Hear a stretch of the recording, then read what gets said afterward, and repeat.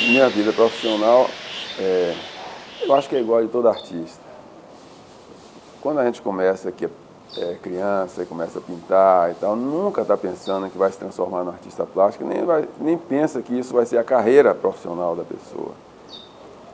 Mas aí chega um tio, uma tia, olha como pinta bonitinho e tal, aí é, as pessoas vão dando de presente é, o, o, lápis ou tinta que, que, que, a gente possa desenvolver algum trabalho e, e é esse o começo da, da sensação de que você pode vir a produzir alguma coisa que, que seja útil. Agora, o tema recorrente desde o início foram os pássaros, as aves, a, a, fauna e a flora. Sempre foi um tema recorrente na minha, na minha produção. Gil começou com uma obra que contemplava muito tons, tons, tons pastéis, tons românticos, uma profusão de cores que se harmonizavam em torno dos tons rosa e depois ele foi modificando, ele foi introduzindo cores mais fortes, ele foi introduzindo mais colorido, mais vermelho. Mas desde a primeira fase, Gilmário é, tem uma, nas suas telas ele joga uma profusão de cores que se traduz esteticamente por uma harmonia muito intensa. Tematicamente, ele explora dos elementos da natureza, da fauna, da flora, a tipos humanos, a, a elementos identitários. Tecnicamente, ele vai do, das formas do abstracionismo ao figurativismo, ele vai das formas é, da influência das vanguardas, das formas herdadas do cubismo, do futurismo, a elementos mais é, harmoniosos, mais clássicos no, na visão geral da obra. E ele oferece uma, eles nos, nos permite uma percepção de bastante equilíbrio, de mais, bastante leveza, de bastante harmonia, de bastante integração. Ele nos permite fruir emoções de muita tranquilidade também, no meio da vivacidade, de muita serenidade, de muita beleza.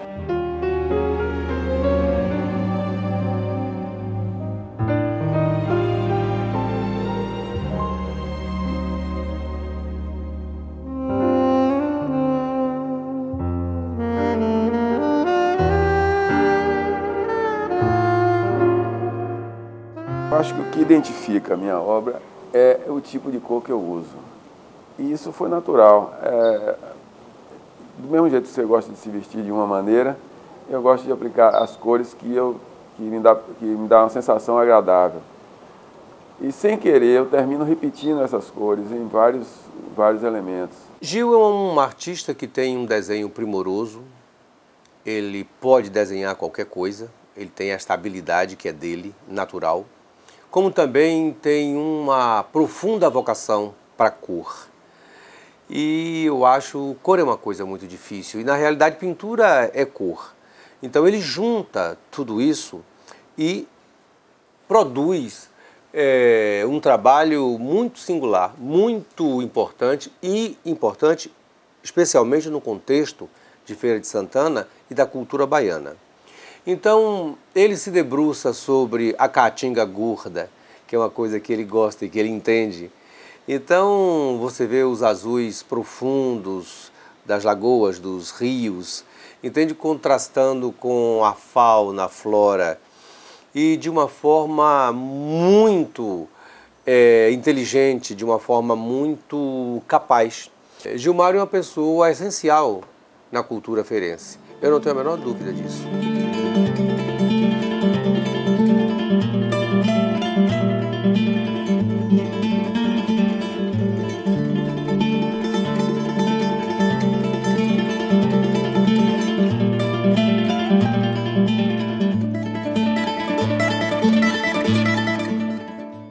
A escultura que eu fiz, a homenagem ao caminhoneiro, que é uma escultura é, que foi contratada por o prefeito José Ronaldo na época, ela tem, ela é cores pastéis, porque é branco, cinza e ligeiramente uma faixa vermelha, mas você identifica meu trabalho pela, pelo, pelo desenho que é feito, que lembra de certa forma a, o movimento das folhas, o movimento da, da, da árvore, e, enfim. eu acho que o traço e a cor identificam meu trabalho. Então nós resolvemos prestar uma homenagem ao caminhoneiro. E pensamos em quem? Em Gilmário. Justamente pelo que ele é, pelo que ele pode fazer. Né? E ficou comprovado. Uma obra bonita, uma obra que marca, uma obra que chama atenção, uma obra que diz o que é Gilmário. No início, houve até uma crítica de que a homenagem ao caminhoneiro não parecia caminhão. Mas não tinha sentido eu fazer um, um, homenagem tão óbvia. Mesmo porque, como eu estou dizendo que Feira é uma cidade cultural, eu tenho que achar que existem pessoas inteligentes, pessoas que estão no nosso tempo, pessoas contemporâneas. No caso do caminhoneiro, especificamente, ele soube explorar muito bem uma leitura que se tinha nas correçorias, um desenho das, das correçorias de, de, de, caminhão antigo, que se fazia muito aqueles desenhos, ele soube explorar isso. Isso é uma coisa interessante por parte dele, isso é embasamento para poder fazer um trabalho. Certo? E o fato da cor, a acessibilidade dele, o material, acessibilidade, o material já entra um pouco de função, porque a facilidade do aço, de vencer aquele vão, de uma série de coisas, também já é uma imposição do, da, do, da função. Duas obras de importância de Gil é o monumento ao caminhoneiro, em que todas as pessoas que adentram Feira de Santana passa por Gilmário. Isso é uma coisa fascinante, né? Quando o artista coloca a sua obra para ser vista pelo público. Quando há uma ressignificação da obra de arte. Ela sai das galerias, dos museus e vai à rua. Eu acho isso fantástico, né? E ele conseguiu uma solução muito interessante, né? que é um caminhão, e o vazado leve, muito leve, e dá à feira toda o magnetismo do caminhoneiro, né? das pessoas que fizeram Feira de Santana. O trabalho também sobre Georgina Erisman é muito importante, não só pelo conceito estético dele, mas também pela homenagem a uma mulher extraordinária, que também é uma das figuras imortais em Feira de Santana. Eu acho que assim ele preserva toda a cultura da cidade e transforma isso numa coisa eterna e para desfrute e fruição das pessoas que estão em volta, da população mais erudita à população mais simples.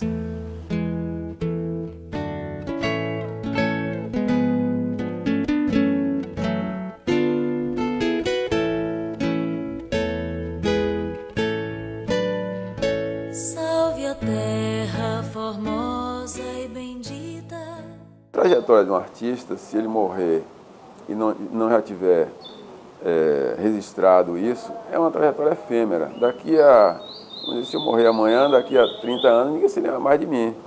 Porque é, os quadros é, se deterioram, as pessoas têm os quadros nas suas residências, não dão.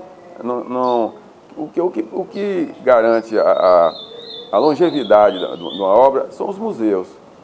No meu caso, eu tenho a impressão que a única coisa que vai registrar meu nome assim por maior, por maior quantidade de tempo são as duas esculturas o monumento ao caminhoneiro, porque é uma peça de quase 42 toneladas, ninguém vai tirar aquilo dali e jogar no lixo facilmente.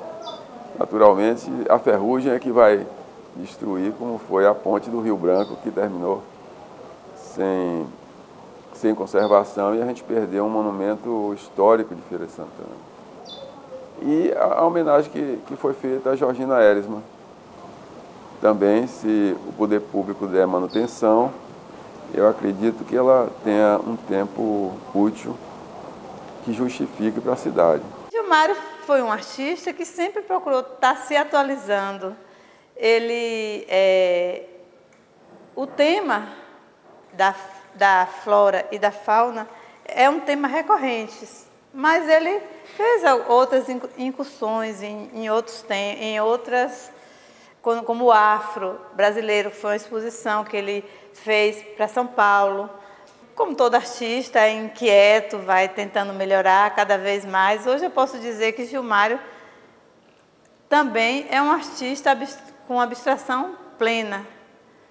Eu acho que ele é um artista pronto, porque eu convivo com artista e sei, e sei o artista que está começando, o artista que está tentando chegar lá. Não quero dizer que ele, ele ainda tem muito caminho a percorrer, mas é, é, hoje ele tem uma, uma abstração é, plena, mas as cores são mais vibrantes, porque é uma evolução na arte de Gil. A obra do Gil está sempre crescendo, está sempre evoluindo.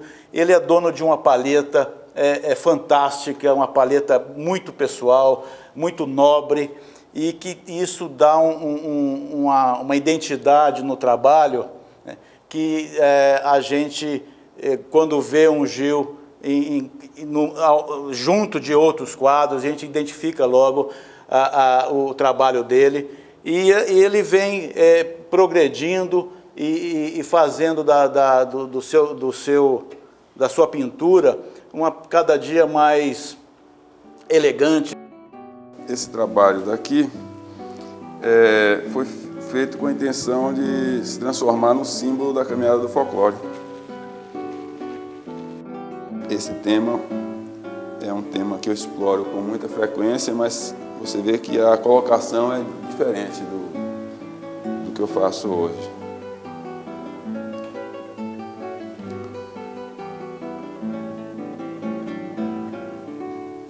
Esse quadro daqui ilustrou uma poesia de Irma Amorim, a Moreninha de Irma Amorim. Olha outro quadro que eu vou tirar esse daqui só para você ver a, a identidade da, do período. A exposição tinha é o mesmo tema, mas a, a colocação da, da figura, a maneira com que eu explorava os volumes eram totalmente diferentes. Era, você percebe uma, uma sensação surrealista muito forte nos trabalhos. Aqui é, foi uma exposição que nós fizemos em São Paulo, em que eu explorei o afro-brasileiro, não só na religião, mas nas formas da mulata, da mulher baiana, da mulher brasileira, mas ligada ao afro-brasileiro era um tema ligado a, a, a, sexo e tal, mas não era sexo explícito, era um, uma, uma série de simbologias que podia levar a essa, esse entendimento. Mas mantém o mesmo colorido. Eu acho que minha marca está mais no colorido do que na forma. O colorido é mais identificável. E esse trabalho que está aqui é um trabalho você você percebe percebe uma certa unidade porque foi feito numa mesma época e esse trabalho é uma releitura de um trabalho de Pablo Picasso dentro do, desse panorama da, do, de artistas da Bahia. Ele eu tenho certeza eu posso afirmar isso com sem, sem medo de errar é um dos nomes que fica para a arte é, para a história da arte da Bahia